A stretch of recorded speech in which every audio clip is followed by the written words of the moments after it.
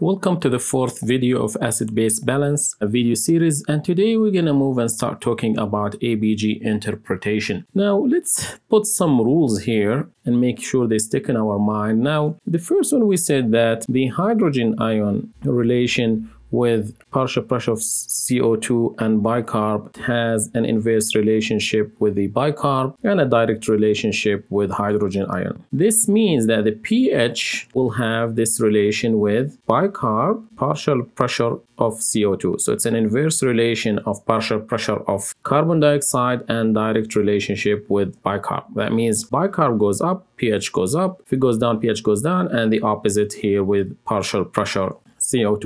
That's very important to understand when we interpret ABG. So that's the first thing. Now, ABG interpretation follow a set, a set of rules which make it easy. Once you understand it, it's pretty easy to analyze ABG. Why? Because ABG or acid-base disturbances is a sign or a symptoms of an un underlying problem. So to fix acid-base balance, you need to reach an accurate diagnosis, reach the underlying problem, and treat it. Remember that. You could treat the sign and symptoms temporarily, temporizing measures of treating this acid-base disturbances, but unless you treat the underlying problem, you're not going to make the patient better. Third point, acid-base disturbances are rarely pure, which means most of the time most often they are mixed which means that it's not it's not going to be often that you see an respiratory acidosis pure respiratory acidosis or pure respiratory alkalosis or pure metabolic acidosis so it's usually a mixed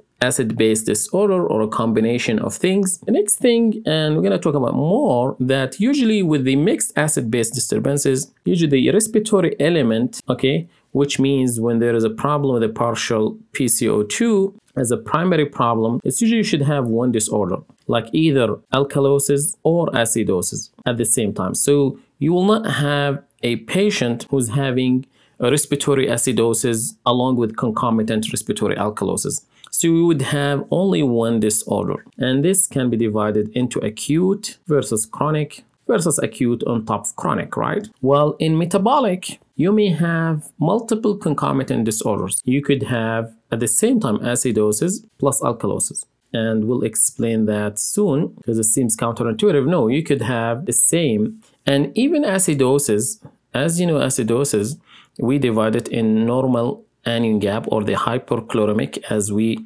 explained and increased anion gap. So you could have both of these type of acidosis at the same time. These metabolic abnormalities could be combined with one of those, respiratory alkalosis or respiratory acidosis, and will come to that. The ABG interpretation follows set rules in terms of that the body is so good in trying to compensate when their pH goes down or goes low, the body find out where is the problem that causing this pH to go up or down, whether in the bicarb, then tell the lungs to try to help by adjusting the CO2 according to the pH, right? And vice versa, vice versa.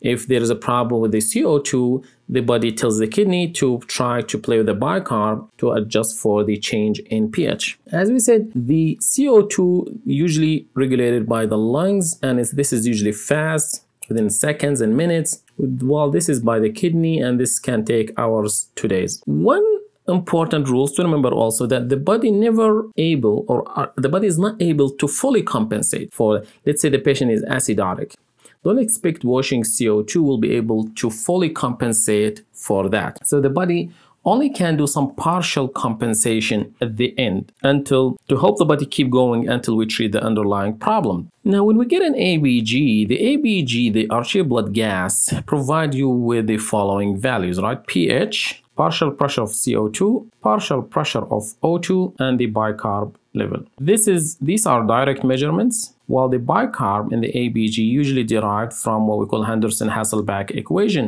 And that brings me to that when we order BMP or a CMP, there will be a value called CO2, carbon dioxide, which is basically the concentration of dissolved CO2 in the extracellular fluid. And this is usually from a venous blood. Remember that, while the ABG is arterial. So because CO2, when it's dissolved, basically, you know, CO2, as you know, remember this, cause the carbonic acid. And this, through the carbonic anhydrase, gets to H plus and bicarb. So basically what we're saying here that the CO2 you can assume it's equivalent because the almost almost always dissolved CO2 is in form of bicarb. So when you see that CO2 in the CMP or BMP, it is, it is the extracellular fluid concentration of the bicarb. Remember that. While the bicarb in the ABG is derived from the Henderson-Hasselbalch equation, and we'll come to that. Uh, where is the when do we use this and when do we use this? What really matters when we interpret interpret the ABG, we just need the pH, partial pressure of CO2, and bicarb. Okay. Once you have these values from an arterial blood gas, remember, always like you have this from arterial blood gas, and to have the bicarb level, this one, the CO2 or bicarb level from a CMP and BMP at the same time, to have things very clear and straightforward to interpret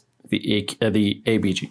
So first, which side is pH going acidotic or acidic or alkalotic or alkalemic? Remember pH, normal pH, 7.35 to 7.45. So if, uh, if less than this, then going acidotic. If it's above 7.45, that means alkalotic. One important thing, normal ABG, oh, sorry, normal pH does not rule out acid-base disturbances. Remember that and we'll show this very soon in example. So first of all, you decide this and based on this, decide what explain the change in pH and that could, should be your primary disturbance. Whether the change in pH going up or down, what explains that? I'll just quick example because I know you know this very well. So if the pH is 7.5 I look at the PCO2 and the bicarb. What changes in PCO2 or bicarb can explain this pH? So if the CO2 is low, if it's explained by low CO2 based on the, we just mentioned that CO2 and, and pH are an inverse relationship, then I can say this is a primary respiratory issue. If it's from high bicarb, then you can say this is a metabolic issue. So uh, that's pretty easy and straightforward to decide what's the primary issue. Remember that even if you don't guess this really well, don't worry. We'll get to the bottom of the problems. But this should be very straightforward and that should be the first step here is deciding is the patient acidotic or acidemic or alkalotic alkalemic and find the explanation from the bicarb and PCO2 what causing pH to go up or down is it the, primarily the bicarb that mean metabolic primarily the carbon dioxide that mean respiratory so that's the first thing remember that the second thing here, immediately calculate the anion gap. Always calculate anion gap. This should be becomes number one instead of two if the pH was normal. Let's say the pH was 7.4. Immediately calculate the anion gap. Normal pH does not rule out acid-base disturbance. Remember that. Now calculate the anion gap. That will tell you if there is increased anion gap or normal anion gap, right? So that's the next step. Why this is important? It's almost always increased anion gap, especially if it's above 20, that always almost always indicate there is increased anion gap metabolic acidosis regardless of the pH, regardless whatever going there, that you almost always have increased anion gap metabolic acidosis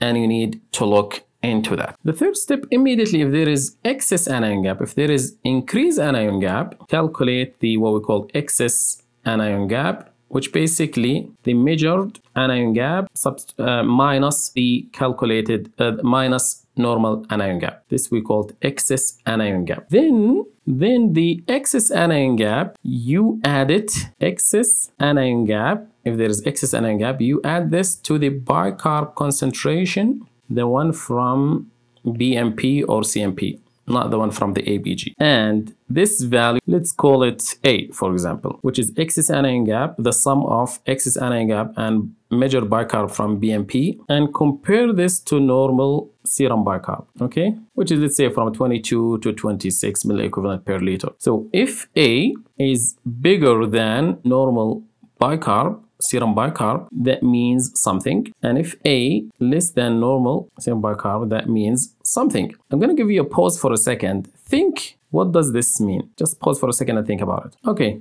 if the excess anion gap and the measured bicarb from BMP value more than the normal bicarb, then there is an underlying metabolic alkalosis And remember, we got to this point after we diagnosed that there is an increased anion gap metabolic acidosis. Excess anion gaps that means there is increased anion gap metabolic acidosis.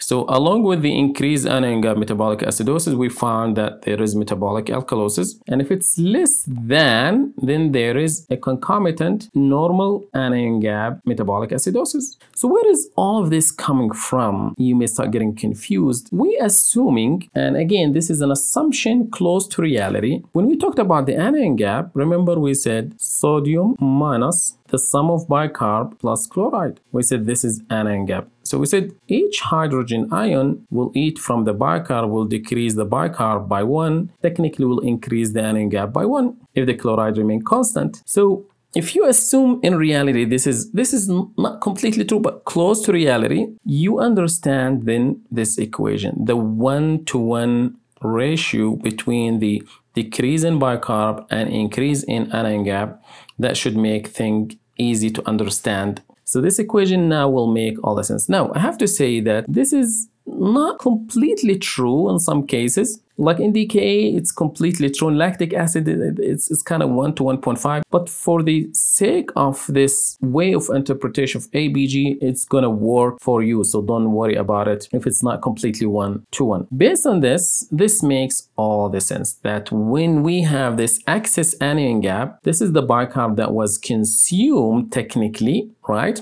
So you add it to the measured bicarb. So if that's no more than normal serum bicarb you know that there was more bicarb than it's kind of expected. So this is metabolic alkalosis. And here that means there is an extra element of normal anion gap metabolic acidosis. Please that uh, i want you to understand that really well because i'm gonna stop this video here so let you digest everything we talked about. And next video I promise you will give you some examples that will make things very clear for you.